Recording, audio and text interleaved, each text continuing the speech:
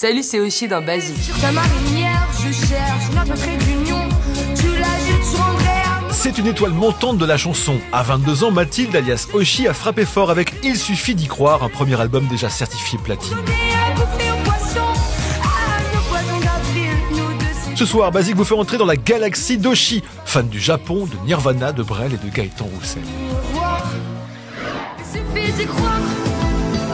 Aussi, ça veut dire euh, étoile en japonais. Je suis passionnée par la culture japonaise depuis enfant.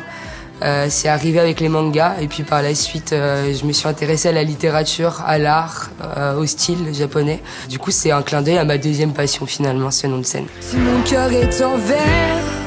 Premier vinyle que j'ai découvert, c'est Jacques Brel, qui m'a profondément marqué. Et quelques années après, c'est Nirvana. Kurt Cobain avait cette rage de raconter des choses et il s'en foutait un peu de tout ce que tout le monde pensait. Et moi j'aime bien ça. Et je trouve que Brel aussi avait ce côté-là et finalement, euh, peu importe le style de musique, je pense que la musique, il y a une âme derrière tout ça et c'est cette âme-là que je veux avoir moi. Je vous trouve un charme fou. Gaëtan Roussel, c'est une très belle rencontre. C'est un mec qui raconte des histoires et euh, il les interprète, ces histoires-là.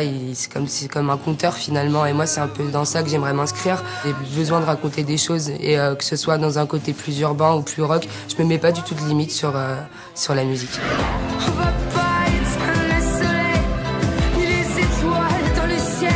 Il suffit d'y croire, un album à écouter chez vous et sur scène car Oshi est actuellement en tournée.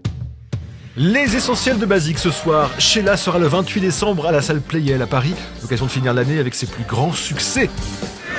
Et puis Amir est en concert dans toute la France. Il a même annoncé une tournée des Zéniths pour 2019 qui débutera le 26 février à Caen. Basique c'est fini sur cet écran, mais vous pouvez nous retrouver à tout moment sur tous les autres.